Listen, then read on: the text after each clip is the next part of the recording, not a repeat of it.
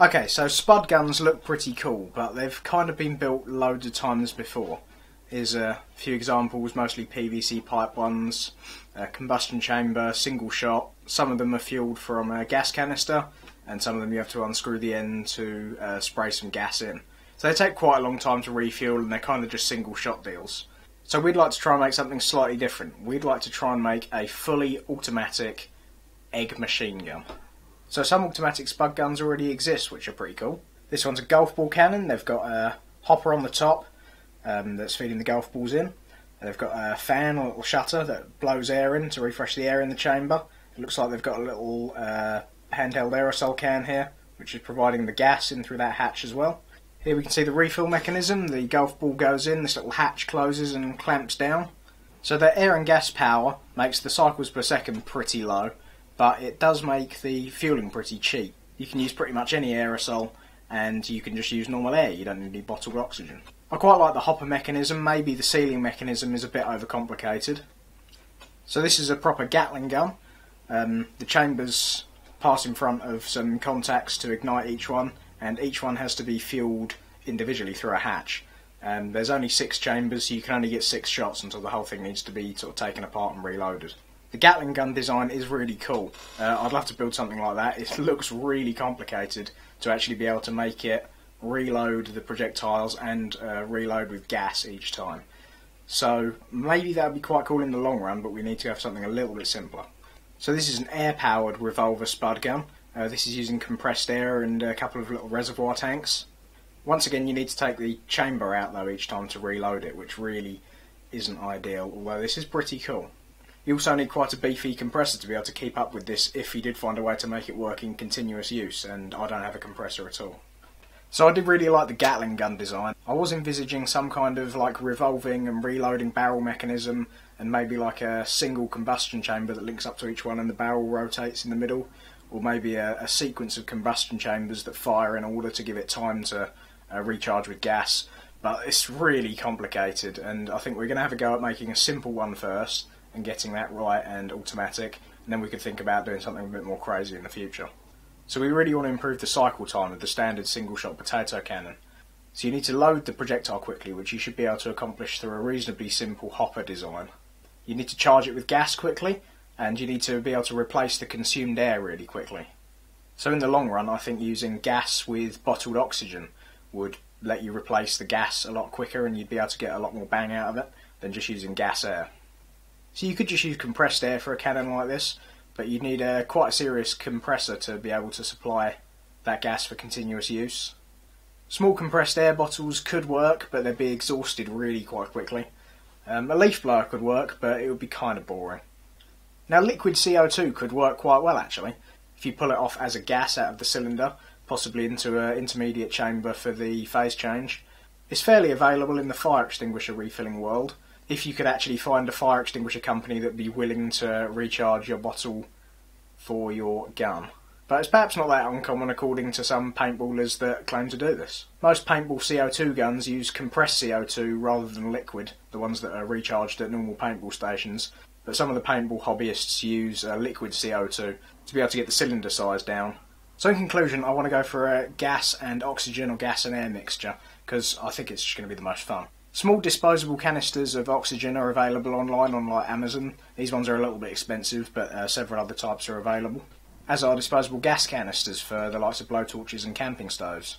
This leaves you with a gun where you can just buy off the shelf oxygen and gas canisters, clip them in and use it. You don't have to go and find some special shop that's going to do a funny job of filling your CO2 canister, and you don't have to go out and buy a compressor either. So here's a design for what I think the uh, cannon could look like. This is all designed out of uh, readily available PVC pipe that I found online, and when we've settled on an actual build, I'll post that list of parts down in the description. So this is the combustion chamber here. There's an end cap on the end with two uh, gas solenoids mounted on it. Down at this end, we've got a reducing bush that connects to the barrel. You can see we've got two gas cylinders here, one for the flammable gas and one for the oxygen, and they're on little retention rings. Having a little peek inside, you can see that um, reducer flange more clearly. And you can also see down here I've got two screws with some uh, washers to bring them a little bit close together that we're going to use as a spark gap for igniting it with a little uh, high voltage transformer. This is the spark generator module I've gone for. Really nice and cheap. Um, quite easy to burn out and quite easy to break the secondary winding on it by the way. It's really fine gauge wire. So this is a 12 volt DC solenoid valve. You put 12 volts DC in here and there's a little magnetic coil in here and it opens and closes the valve. So there's quarter inch NPT national pipe thread fittings on each side. Um, quarter inch is probably overkill. You can get this in eighth inch as well. It just depends on the availability of the other fittings. Um, there's a bit of a bottleneck. I don't know if you can see that little tiny hole in there. That's what the gas has got to go through anyway. So trying to open this up as much as possible is kind of pointless with this uh, this solenoid. So this is a quarter inch NPT male um, and a 3 16th inch, which is about 5 mil uh, tail hose barb adapter. And this is a uh, bulkhead fitting. Well, it's, it's actually an adapter, but I'm going to be using it as a bulkhead fitting.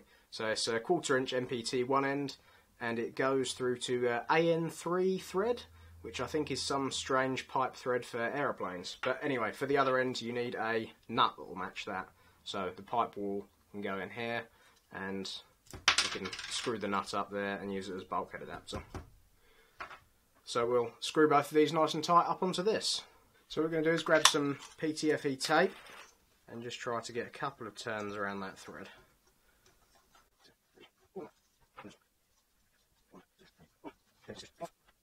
And we'll screw this into this.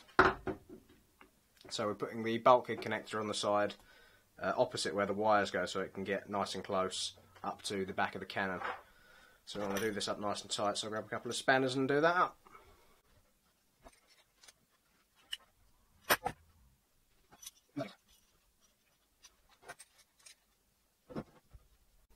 Nice and tight, there we go. Right, so hopefully that won't leak too much. So this is what the prototype system looks like. We've got the uh, two solenoids mounted up here. Uh, this one is going to be for just testing it out for compressed air. So we've got a big 5 litre water tank. Just going to screw onto that. Uh, good tip here, if you use this flexible silicon piping, if you just drill two holes in a cap, poke them through and then put some slightly larger diameter pipe inside the silicon pipe and pull them tight, that makes a really nice gas tight seal for doing little tests like this.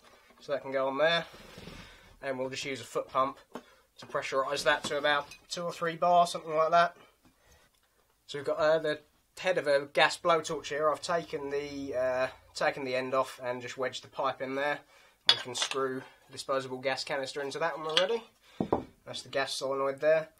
Both solenoids on a nice long bit of cable to test just with a 12 volt battery. And for the igniter, I've taken a uh, M3 bolt, used a bit of the silicon pipe as a insulator between that and the can can of the uh, combustion chamber. This is, a, I think, a toilet brush holder, by the way. And just the piezo element from a cigarette lighter, just to test this out temporarily.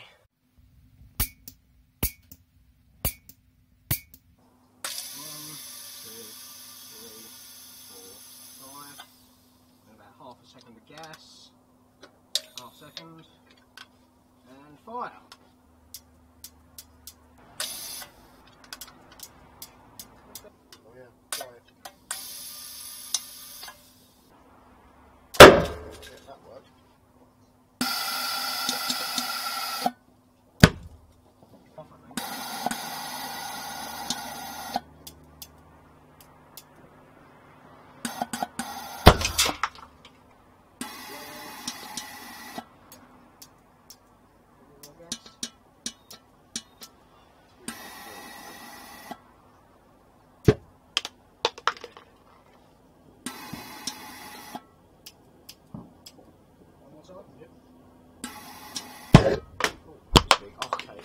So I've just built this little control board. It's an Arduino Nano, two MOSFETs for controlling the solenoid outputs, and a relay for controlling the spark module. So we're going to have a quick go at measuring the pressure at the outlet of some of these uh, disposable gas canisters. So this is air duster, which is actually in fact probably difluoroethane. This doesn't actually say on it. Now the output pressure of these is usually determined by the vapour pressure of the contents. Because the bulk of the contents are stored as a liquid, and the gas is uh, drawn off as a vapour from that.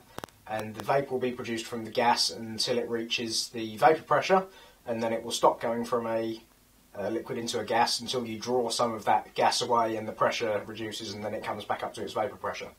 And the vapour pressure is dependent on temperature, so we're also measuring that with a thermocouple. So we've got a gauge reading in PSI here, we'll give it a try. So at 23 degrees C, we've got about 45 PSI. So same experiment again, this time with butane at uh, 21 or 22 degrees C. So that looks about 22 PSI. This is the butane at 30 degrees, and we're getting about 32 PSI. This is 30% propane, 70% butane at slightly colder 18 degrees. And that one looks like a solid 30 psi. That was a slightly different temperature because it's been uh, sitting in the garage and it was cold out there. This is the 30% propane, 70% butane at about 30 degrees. Much higher, that looks like about 46 psi. So this is a bit of a ghetto way of measuring the flow rate. I've got a inverted uh, Pyrex measuring jug filled with uh, water with a pipe going into it through the gas solenoid and that's fed from the adapter on the top of the butane canister. It's quite cold in here, it's 17 degrees. We'll have a go at uh, so what I'm going to do is point the camera at the measuring graduations on the Pyrex jug and I'll turn the gas supply on and switch it off when it gets to about a quarter of a litre and then uh, do some frame counting to measure the flow rate.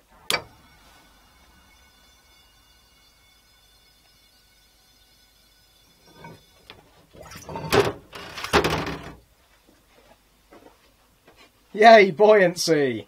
It's still a scientific principle that works. Fancy that.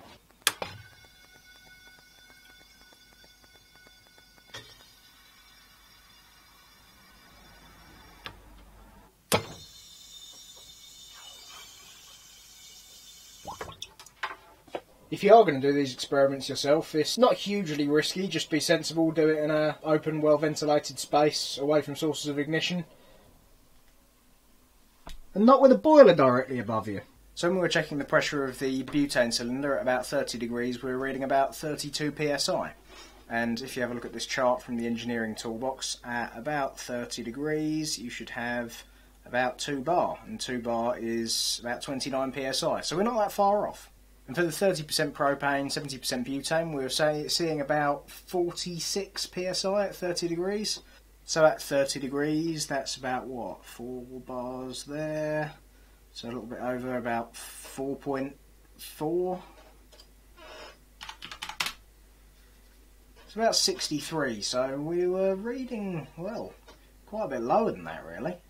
Maybe the cheapest pressure gauge on eBay wasn't the uh, most accurate one. I'm not really sure where that error's come from.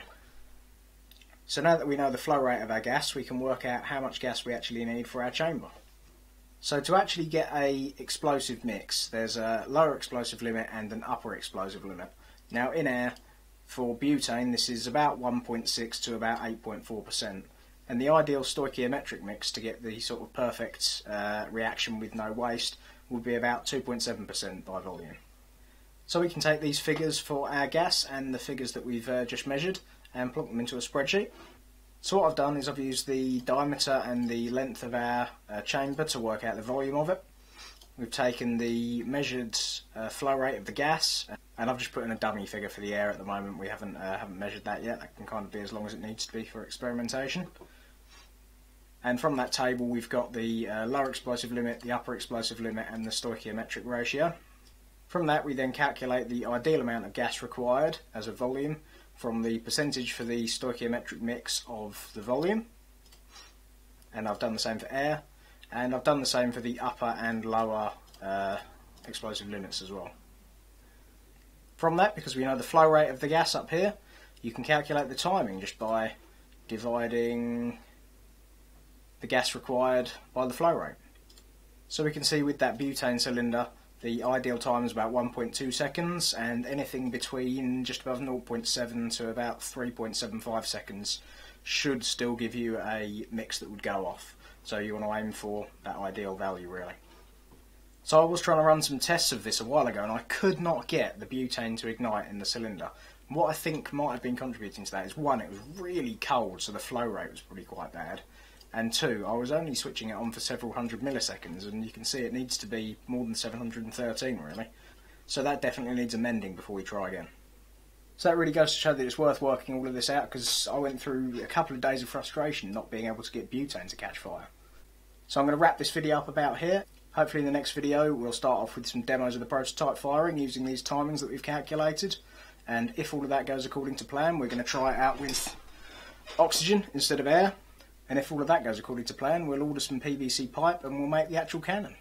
So thanks for watching guys, please uh, leave a comment and uh, like the video if you liked it. Uh, don't forget to subscribe so that you don't miss the next part of the video series.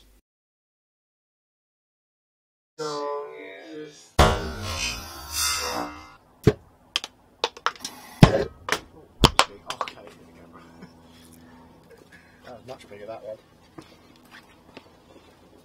Warm, hot, actually. Jeez. Nice. Right, should we turn the old primus off? Uh, yeah, right, hit the re